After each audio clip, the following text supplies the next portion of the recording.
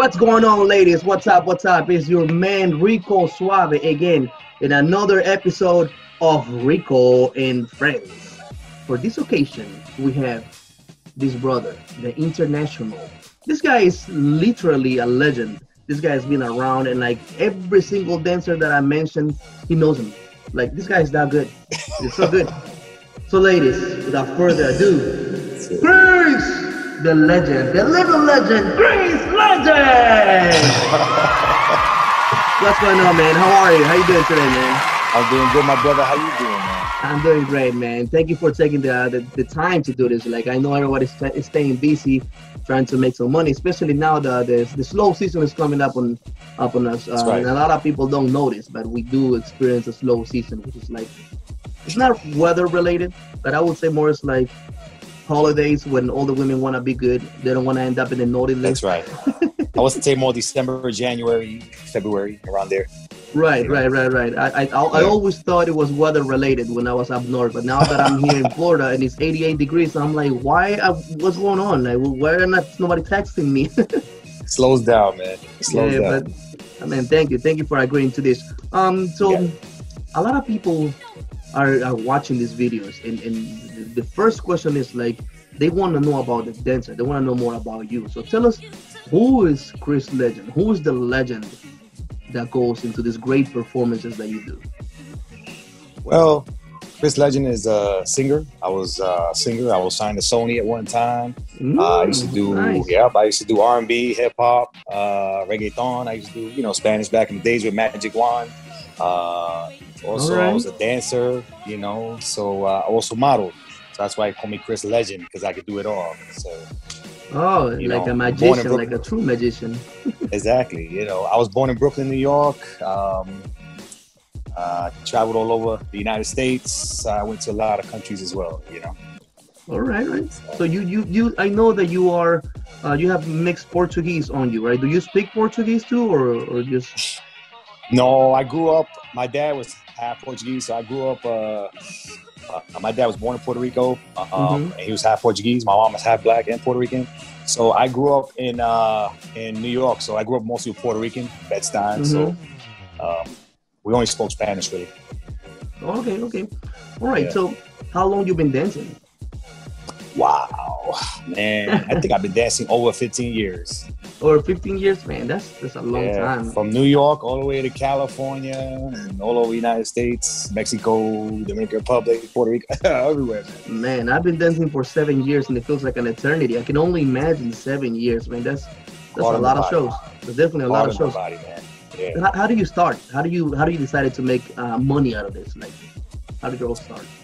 Well, I think one one day, uh, one of my boys came up to me. He goes, "Yo, you're a good-looking dude." You know what I'm saying? And you know, you're Hispanic. You're tall. 'cause I'm six feet. He was You probably just, looking for you a boyfriend. Nah. Probably. he was a dancer too, though. Uh, and uh, his name was Punisher and uh, Flavor. You know, so they said, "Man, you should do it, man." You know, represent for Latinos. And then I said, "All right, you know, Right. I'll do it." And I started dancing. I was horrible. My first show was horrible, man. Oh Yeah. man, what happened at that first show? You gotta tell me. Wow, man. It was at Webster Hall. Uh, Ah, I know Webster Hall. Webster Hall. That's when all the dancers back in Thursdays, we had the hot dancers. I was not the hot dancer. I was the first one all the time. I was the worst. Women went crazy, but I was the worst performer, man. You know, Oh, they said, man. man, you bad, bro. You know? you know, I think the worst thing I did was uh, I hit a woman in the private part. I, I, I jumped in the air and hit her in the private part, bro. Yeah. You gotta make them sign waivers before we go in. That's how bad I was. My first year, I was the worst performer, man. I mean, I wasn't Chris Legend. I was the worst, you know. So, Oh man, good. yeah, I, I've I've I've been through there, man. Like, I remember the one the one time I think was uh, the same year I met Desire. We were in Miami, and then I I remember I came to Georgia driving from Miami, and I hate driving. I hate it. But as soon as I drove here, I had two parties, and I had another one. Then Hunkomania called me. It's like, hey, can you work tonight? And I was money hungry. I'm like, yeah. so all in all, that week I did like 12 or 13 shows. So I was drained. Like my money bag was full, but I was so tired. So then I come to this woman in Hunkomania, and I pick her up. I do this trick where we pick her up on, on top of your shoulders, and I let her go. I, I don't. It might have been her, it might have been me. We were too tired, but it looked like this is John Cena. I just went. Oh my god! You made a I dropped her.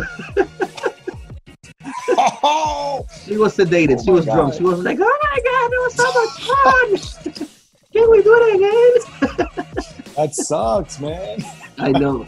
I was too tired and I didn't even care. I'm like, "Oh my god, I'm sorry." She's like, "No, I'm fine." And I'm like, "You're not gonna be fine. Like, like tomorrow's gonna hurt, but I'm sorry. You know, you volunteer, you moved." You know, and it was one of those girls that you, know, you put them in one position and they start moving, and then that Oh yeah, and they think they're like 50 pounds, but they're really like 200. They they, they think Right, it's right. easy for us, you know. So Right, right, right. That. we, we do the best we can, man. Shit. That's so you've right, traveled that's to right. a lot of a lot of places in, in different countries too, right? You've That's done right. this work internationally. Uh, yeah, well, I did Girls Night Out, I did Magic Men, I did Hunkomania. So I travel all over the United States, uh, Puerto Rico, the Dominican Republic, Mexico. Mm-hmm. Uh, shoot, man. I've been all over Canada. I've been to Canada a few times. Vancouver, Toronto. Canada is awesome, awesome. Have you been to Europe yet for dancing, or like I have Asia? not. I have not. Actually, Girls Night Out wanted some guys to go to Australia. Um, Mhm. I was gonna do that, but I don't know if the money was right to go all the way to Australia. So I Right. said, "Nah, stay in the United States." You know. Right, right.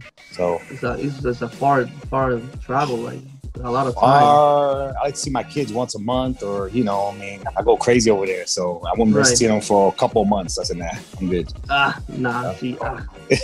For those that know Rico, Rico Suave doesn't like traveling. I build a strong network wherever I am, and that's where I stay. I I don't like That's right. flying. I don't like driving, and nothing. I mean, if someone drives me, but I hate that. Still hard, man. I know how it is, man.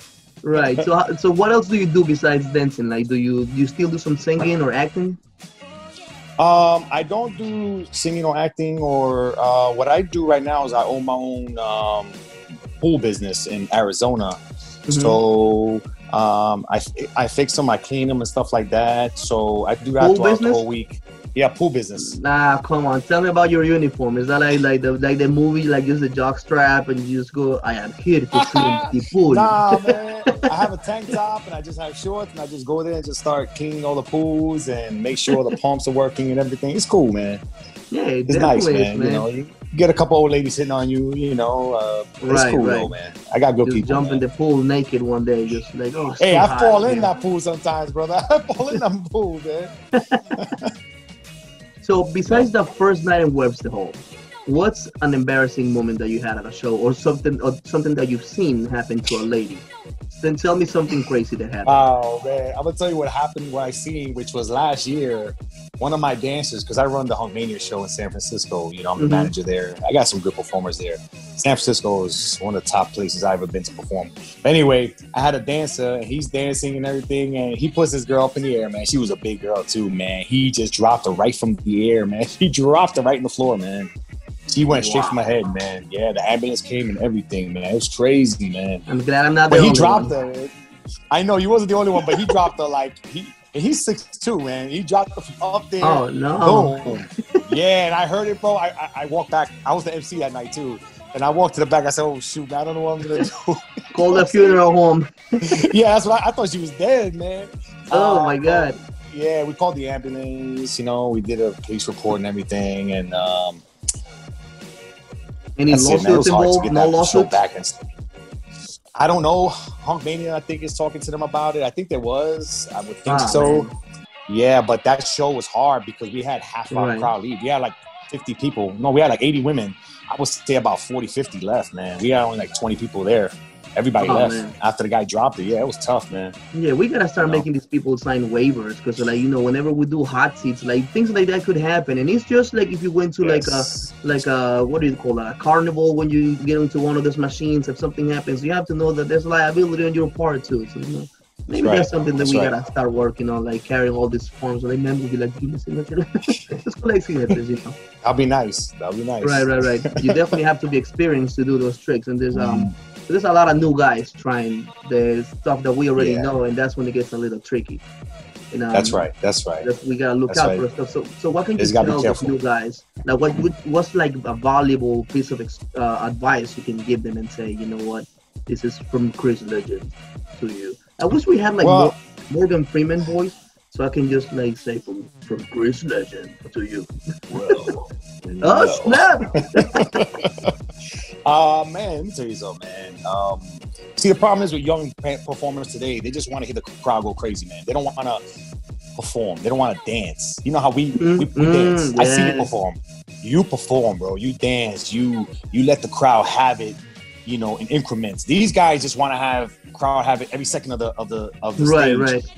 I tell them you got to perform, bro. You got to feel yourself out. You got to be up on stage and perform, man. Be you, and it takes a long time, man. People don't understand. People think, oh, he's a bad performer, or he's a great performer, but he don't. They don't Right. understand that we've been in the game for a while, so that we're Mhm. comfortable on stage. It takes years. Right, right, right. Uh, so I would say just practice your craft. Look at all the old performers, man, and, and practice your craft, and don't do nothing crazy, man, and just let let it all come into play when you in the in the show when you're performing.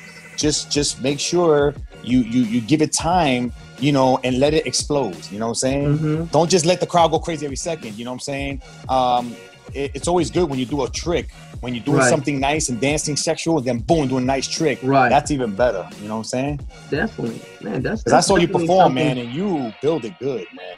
You Yeah. know, I, I wish build. someone would have told me that at the beginning. At the beginning, I had no idea what I was doing. man. me either.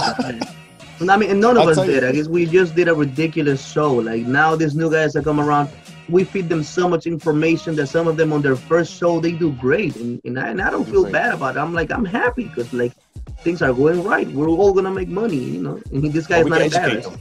We can educate them. You know, GQ, Punisher, Flavor. They all saw me in my first show, and they went like this. Right, right, right, them.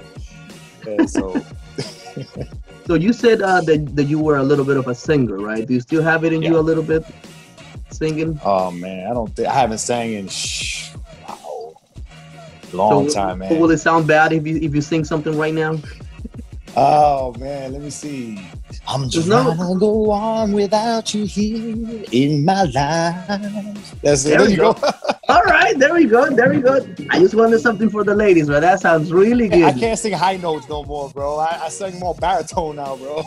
All right, so let's so a baritone. All right. So normally at this at this portion of the interview, I ask something that you want to tell the ladies, but I think you can sing something like give us like a like a 10, 15 second a, a song, something for the ladies. Let's see, what do you have?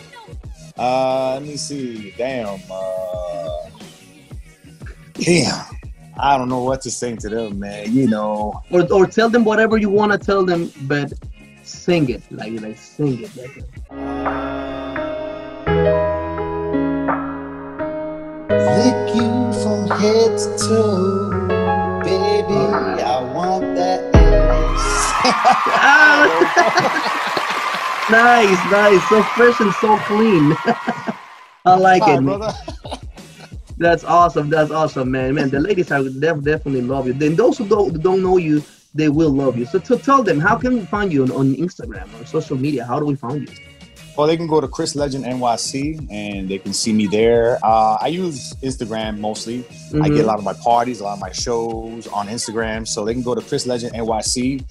Sounds good. Yeah, they'll, they'll see it. I'm gonna post it right here in the video so they they contact the right Yeah.